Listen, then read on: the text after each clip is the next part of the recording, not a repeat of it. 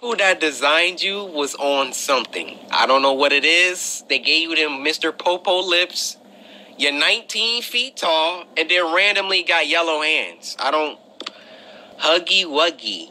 Playtime Company has designed hundreds.